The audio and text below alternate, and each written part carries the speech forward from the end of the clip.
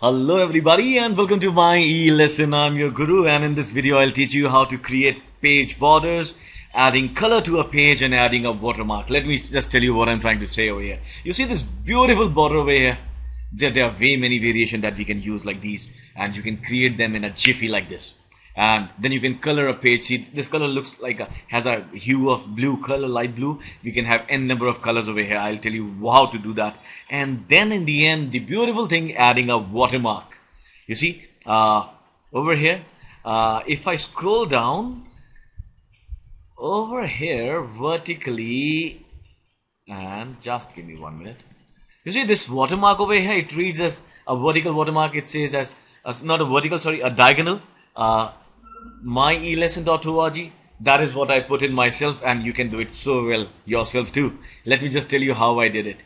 Alright so let me just remove everything first and do something or what? Let, let me create a new one for you. Alright so we do a control N a new file opens and we copy this text over here.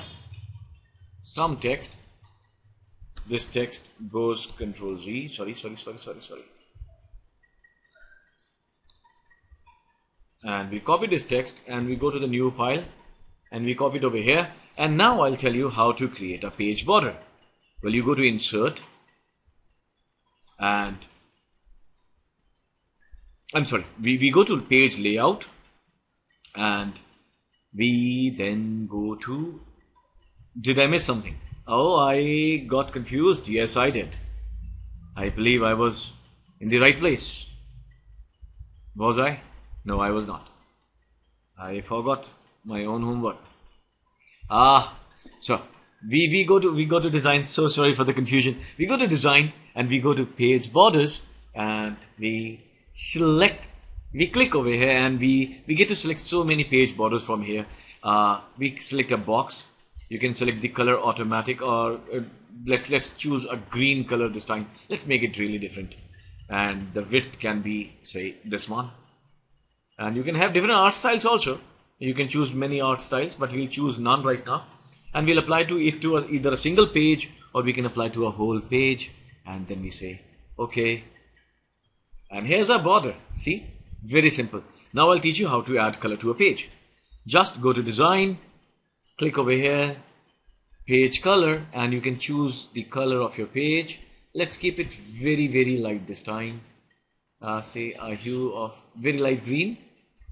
You can choose these colors or you can have more colors and you can choose any color from here. See?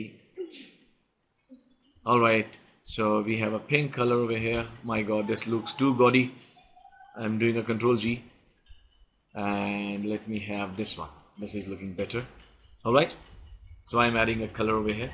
And in fact in fact if you choose fill color you can choose textures. You can choose textures from here. You can choose patterns from here. Let me have a pattern see uh, a beautiful pattern like this. Or this one say and we have a pattern. Isn't it cool? And how do we remove that? Simple no color. Choose no color and you are able to remove it. Page border, same how do you remove a page border? You simply have none. Click on none.